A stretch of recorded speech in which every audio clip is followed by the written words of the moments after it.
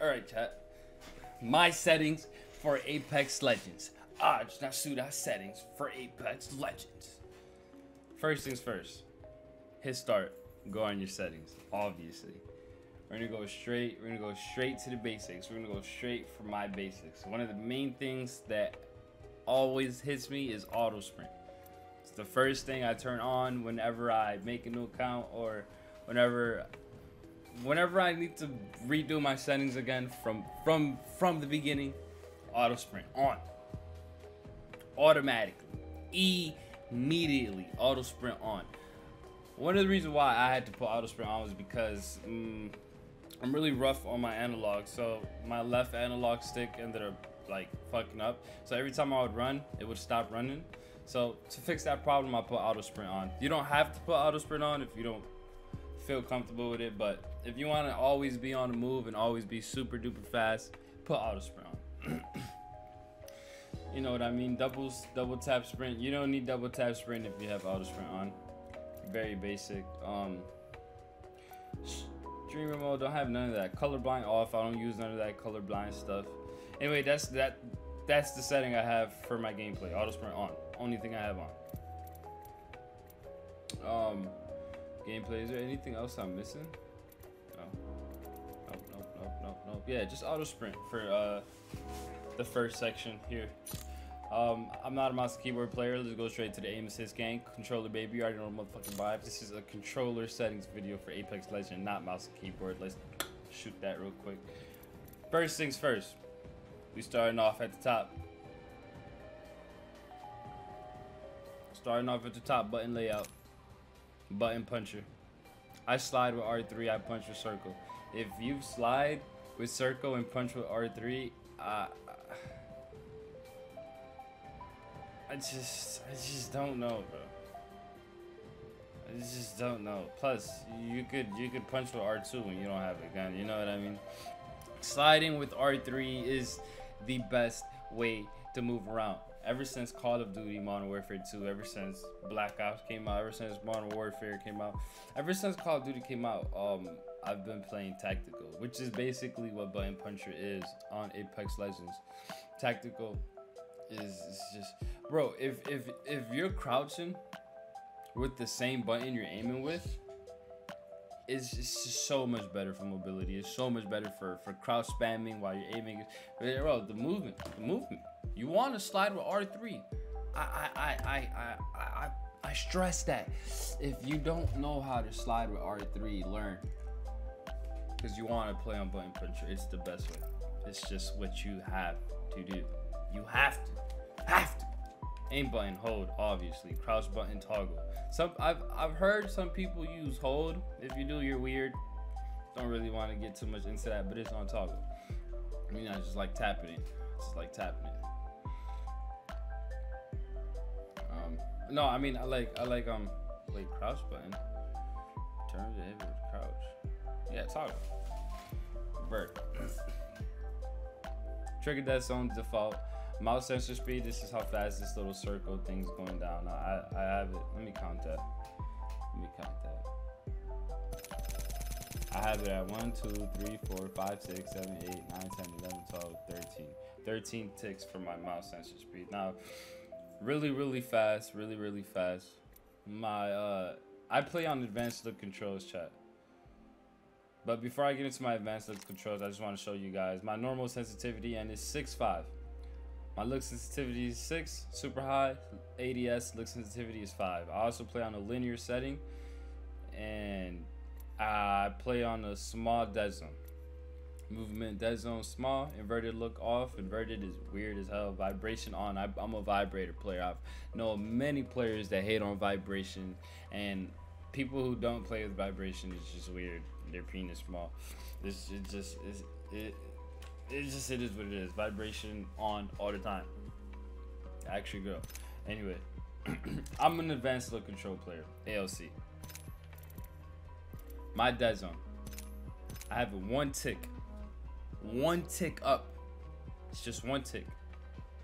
Dead zone. Size of the inner range in which stick input will not be registered. Smaller is generally better as more input allows for final for finer for finer control.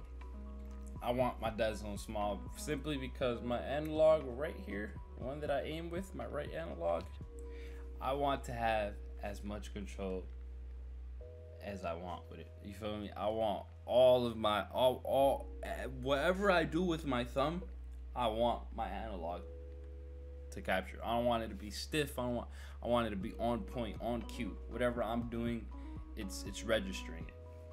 Outer threshold, um, width of the outer buffer definition define, defining the boundary of max stick, stick input. Some controllers need a very slight amount. This boundary is also where any extra yaw or pitch settings will take effect. Um, I put that down. It, it sounds too confusing. I didn't know what it was. I wanted it off. Completely took that off. Um, I'm gonna make a response curve. I mean, I think a response curve. I'm gonna make uh, another settings video as soon as my controller comes. Uh, my new controller, I gotta. I just ordered a Scuff Impact.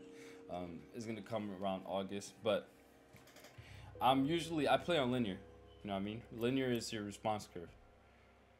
When when you have no response curve, it's basically linear. I had to put my response curve up because my L2 button is really messed up, and my right angle it, it messes up my my aiming. So I put my response curve higher. By the way, guys, linear is like a really raw, raw feeling. So it's like it's really raw. Know what I mean? You have full control. Like whatever you do on your analog, the game is registering it. So it's very, very, very like difficult to learn linear, but it's also I really highly recommend it. But for now, I have my response curve at um. Let me see.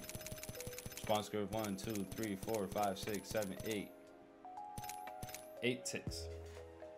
I have my response curve at eight ticks. All right, chat. This is where the juicy part comes in. This is the juicy, juicy, juicy, juicy part of ALC. Yaw speed. This is how quick you look from left to right when you aren't aiming down your um. Let me uh, let me go into the firing range for this. Let me go into the firing range for this. I need to show you. Here guys. I come, back from the sky. I need to show you guys exactly what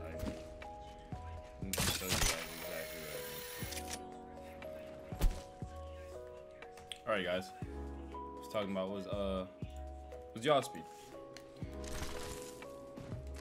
Yaw speed is how quick you look from left to right. I have my yaw speed all the way up. I want to turn around from my left to right as quick as I possibly can. Let's say I'm getting shot from this angle. Boom, somebody's shooting at me in my left. I'm already turned around aiming at him. Already turned around at him. That's why I want. That's why I have my left and right all the way up. This is my left and right when you're not aiming down. Um, my pitch speed. This is how fast you are looking up and down. Once again, I have my yaw speed left and right all the way up, my pitch speed down. The reason why I have my left and right and my up and down the reason why I have my left and right all the way up as opposed to my up and down is because I I think it makes it makes me stay more centered. You feel me? It keeps me centered. If I'm trying to turn around, if I'm trying to turn around and my sensitivity to look up and down is fast, I'm gonna be up here before I could. Obviously, you know, if you're you're better off trained, but it keeps you more centered. So if I want to show here, I'm gonna turn around off rip. Already on, turning around keeps me centered. It keeps me centered. Just that simple, chat. It keeps me centered. Keeps me centered. Keeps me centered. Just keeps you centered. At least that's how that's how it is for me. turning extra yaw and turning extra pitch. Um, when stick input is at maximum, how much more quickly the view turns from left to right. Turning extra yaw is basically how much faster you want your yaw speed and pitch speed to be. I have it all the way up. You know what I mean? Like I said, I want I want myself to turn around as quickly as possible. Now, since my pitch speed is really, really, really low compared to my uh, to my yaw speed, I put to turn the extra pitch all the way up so it won't be too crazy my up and down like too slow and turning ramp up time and turn ramp up delay have it down don't like it I don't know. I really don't know what it is, but I turn it all the way down. But for the starters, um, when I'm not aiming down my sight, yaw speed all the way up. Um, pitch speed. Let me look at how many ticks that is. Let me keep my eye center on it. It is 1, 2, 3, 4, 5, 6, 7, 8, 9, 10, 11, 12, 13, 14. 14 ticks on the pitch speed. And then turning extra yaw, turning extra pitch and yaw speed all the way up. Now for my ADS, this is when I'm aiming down my sight. Um, yo Guzmo, thank you for the look. Like I said in the beginning of the video chat, my controller is really fucked up. Let me show you guys what happens to my controller when I hit L2, okay? Alright, um, look at my controller chat. I'm not touching it. I'm gonna hit L2. My L2 button, mind you, keep in mind chat, I'm not touching my right analog stick. It looks all the way up. It looks all the way up. So when I'm aiming down my sight chat, it, it, it really, really messes up my recoil. Like I can't keep the gun straight at times. So I have to hold my analog stick extra, extra down. That's why I ordered a new controller because my L2 button is broken on the inside of my controller and it makes me look up as you guys can see. As you guys can see. Look, that's just that's just me hitting the L2 button chat. Anyway, um, this is why I say I'm gonna make a new settings video because I I'm more than positive I'm gonna end up changing this, changing my ADS. Probably just the ADS turning extra yaw and pitch speed. I'll probably end up putting it all the way down when my new controller comes. But my ADS yaw speed, this is when you're aiming down. This is when you're aiming down like that. Very basic. Yaw speed looking from left to right. And pitch speed is looking up and down. For my yaw speed, I have it at 1, 2, 3, 4, 5, 6, 7, 8, 9, 10. I have it at 10 ticks. And for my pitch speed, I have it at 1, 2, 3, 4, 5, 6, 1, 2, 3, 4, 5, 6. Six, um, six ticks from the line. That's the way I go. Um, once again, this is the way it looks. Aiming down my sight. I don't want my left and right to be so high. You know what I mean? When I'm when I'm in somebody's big legends, you could only move so fast in this game. You know what I mean? You only move so fast. So it, it's pretty easy. It's, it's fairly easy for you to track. Fairly easy for you to track enemies if you don't have your ADS so so so crazy all, all the way up uh, uh, high. You know you don't want your uh, ADS super, super high. 1, 2, 3, 4, 5, 6, 7, 8, 9, 10. 1, 2, 3, 4, 5, 6, 7, 8, 9, 10.